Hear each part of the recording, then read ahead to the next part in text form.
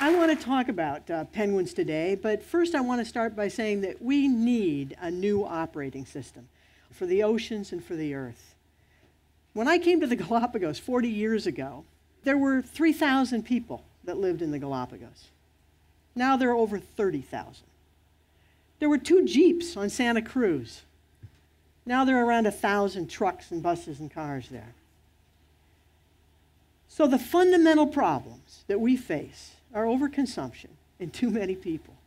And it's the same problems in the Galapagos, except obviously it's worse here in some ways than other places because we've only doubled the population of the Earth since the 1960s, a little more than doubled.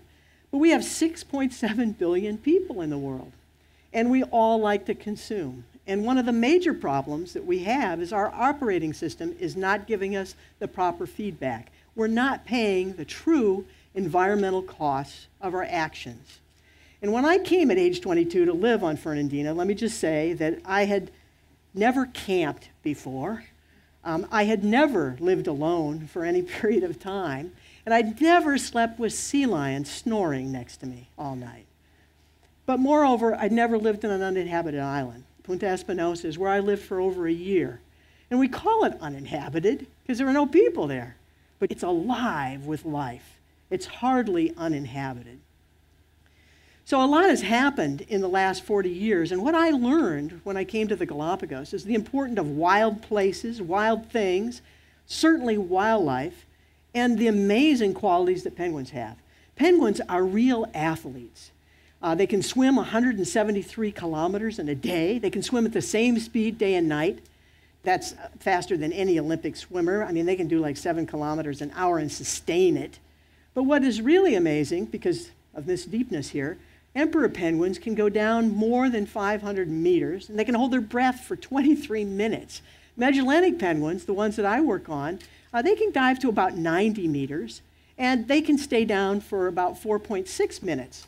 Humans without fins, 90 meters, 3.5 minutes, and I doubt anybody in this room could really hold their breath for 3.5 minutes. You have to train to be able to do that. So penguins are amazing athletes. The other thing is, I've never met anybody that really doesn't say that they like penguins. They're comical, they walk upright, and of course, they're diligent, and more important, they're well dressed. So they have all the criteria that people normally like. But scientifically, they're amazing because they're sentinels. They tell us about our world in a lot of different ways, and particularly the ocean. This is a picture of a Galapagos uh, penguin that's on the front of a little zodiac here in the Galapagos. And that's what I came to study. I thought I was going to study the social behavior of Galapagos penguins, but you already know penguins are rare. These are the rarest penguins in the world. Why I thought I was going to be able to do that, I don't know. But the population has changed dramatically since I was first here. When I counted penguins for the first time and tried to do a census, we just counted all the individual beaks that we could around all these islands we counted around 2,000. So I don't know how many penguins there really are, but I know I can count 2,000. If you go and do it now, the national parks counts about 500. So we have a quarter of the penguins that we did 40 years ago. And this is true of most of our living systems. We have less than we had before, and most of them are in fairly steep decline. And I want to just show you a little bit about why.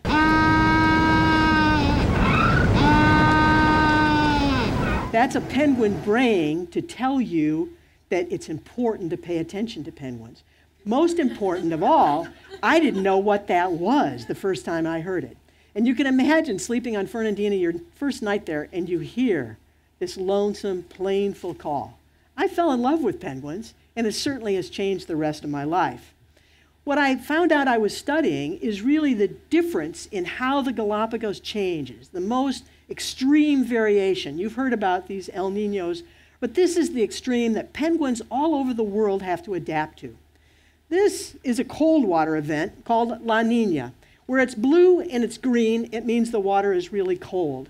And so you can see this uh, current coming up, uh, in this case, the Humboldt current, that comes all the way out to the Galapagos Islands, and this deep undersea current, the Cromwell current, that upwells around the Galapagos. That brings all the nutrients. When this is cold in the Galapagos, it's rich and there's plenty of food for everyone. When we have extreme El Nino events, you see all this red, and you see no green out here around the Galapagos. That means that there's no upwelling and there's basically no food. So it's a real desert for not only the penguins, the sea lions, the marine iguanas. Things die when there's no food. But we now know, we didn't even know that that affected the Galapagos when I went to uh, you know, study penguins. And you can imagine being on an island hoping you're going to see penguins, and you're in the middle of an El Nino uh, event, and there are no penguins. They're not breeding, they're not even around. I studied marine iguanas at that point. But this is a global phenomenon, we know that. And if you look along the coast of Argentina, where I work now at a place called Punta Tombo, it's the largest Magellanic penguin colony in the world down here at about 44 degrees south latitude, you see that there's great variation here. Some years, the cold water goes all the way up to Brazil, and other years, in these La Nina years, it doesn't. So the oceans don't always act together, they act differently, but that's the kind of variation that penguins have to live with, and it's not easy. So when I went to study the Magellanic penguins, I didn't have any problems. There were plenty of them. This is a picture at Punta Tombo in uh, February showing all the penguins along the beach. I went there because the Japanese wanted to start harvesting them and turning them into high fashion golf gloves, protein, and oil. Fortunately, nobody's harvested any penguins, and we're getting over 100,000 tourists a year to see them.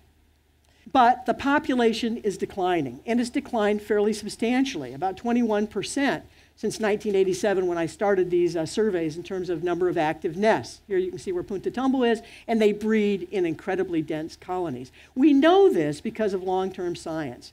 Um, because we have long term studies there. And science is important in informing decision makers and also in changing how we do in knowing the direction of change that we're going in. And so we have this penguin project. The Wildlife Conservation Society has uh, funded me, along with a lot of individuals over the last 27 years, to be able to produce these kinds of maps. And also, we know that it's not only Galapagos penguins that are in trouble, but Magellanics and many other species of penguins. And so we've started a global penguin society to try to focus on the real plight of penguins. And this is one of the plights of penguins oil pollution. Penguins don't like oil and they don't like to swim through oil. The nice thing is, if you look down here in Argentina, there's no surface oil pollution from this composite map. But in fact, when we went to Argentina, penguins were often found totally covered in oil. So they just were minding their own business. They ended up swimming through ballast water that had oil in it. Because when tankers carry oil, they have to have ballast at some point. So when they're empty, they have the ballast water in there. When they come back, they actually dump this oily ballast water into the ocean. Why do they do that? Because it's cheaper. Because they don't pay the real environmental costs. We usually don't. And we want to start getting the accounting system right so we can pay the real cost. At first, the Argentine government said, no, there's no way. You can't find oiled penguins in Argentina. We have laws. And we can't have illegal dumping, it's, a, it's against the law. So we ended up spending nine years convincing the government that there were lots of oiled penguins. In some years, like this year, we found more than 80% of the adult penguins dead on the beach were covered in oil. These little blue dots are the fledglings, meaning we do this survey every March, which means that they're only in the environment from January until March, so maybe three months at the most that they could get covered in oil. And you can see in some years over 60% of the fledglings were oiled. Eventually, the government listened, and amazingly, they changed their laws. They moved the tanker lanes 40 kilometers further offshore, and people are not doing as much illegal dumping.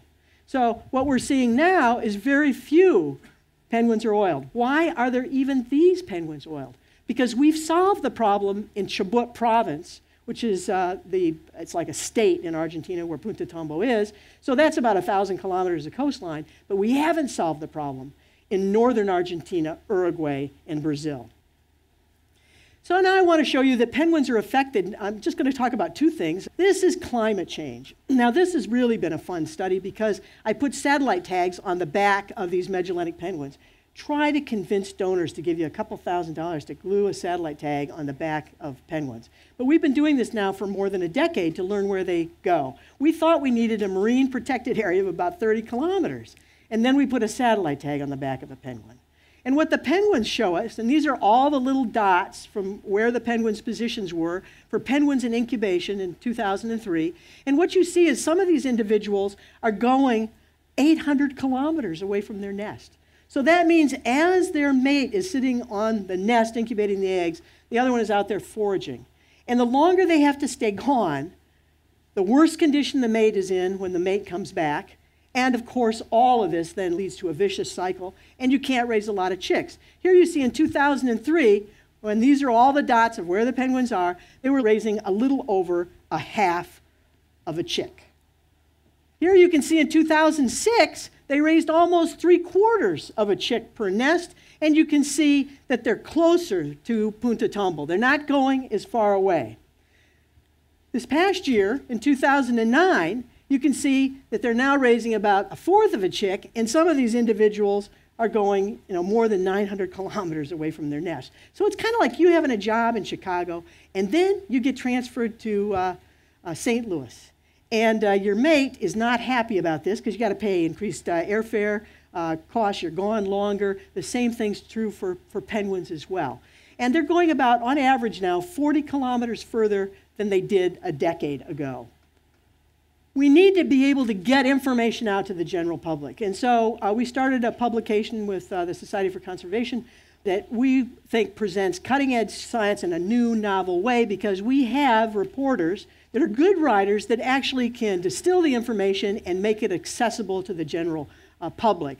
So if you're interested in cutting edge science and smarter conservation, you should join with our 11 partners, um, some of them here in this room, like the Nature Conservancy, and look at this magazine because we need to get information out about conservation to the uh, general public.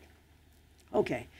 Lastly, I want to say that all of you probably have had some relationship at some time in your life with a dog, a cat, some sort of pet. And you recognize that those are individuals. And some of you consider them almost part of your family. If you had a relationship with a penguin, you'd see it in the same sort of way. They're amazing creatures that really change how you view the world because they're not that different from us. They're trying to make a living, they're trying to raise uh, their offspring, and trying to get on and survive in the world.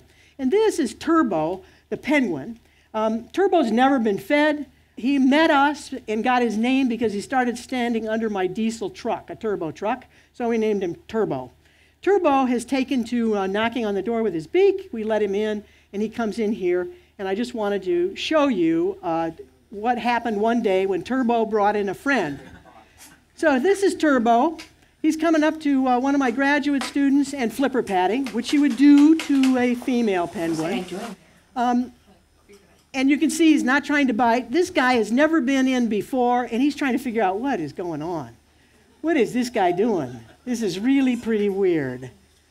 And you'll see soon that my graduate student, after, and, and you see Turbo's pretty intent on his flipper patting. And now he's looking at the other guy saying, You are really weird. And now look at this not friendly. So penguins really differ in their personalities, just like our dogs and our cats. We're also trying to collect our information and become um, more technologically literate. So we're trying to put that um, in computers in the field. And penguins are always involved in helping us or not helping us in one way or another. This is a radio frequency ID system. We put a little like piece of rice in the foot of a penguin that has a barcode, so it tells you who it is. He walks over the pad, and you know who it is. Okay, so here are a few penguins coming in. See, this one's coming back to its nest. They're all coming in at this time. Walking across there, just kind of leisurely coming in. Here's a female that's in a hurry. She's got food. She's really rushing back because it's hot to try to feed her chicks. And then there's another fellow that will leisurely come by. Look how fat he is. He's walking back uh, to feed his chicks. Then I realized that they're playing King of the uh, Box. This is my box up here, and this is the system that works. You can see this penguin. He goes over, he looks at those wires, does not like that wire. He unplugs the wire. We have no data. so they really are pretty amazing creatures. Okay, most important thing is only you can change yourself. And only you can change the world and make it better for people as well as penguins. So thank you very much.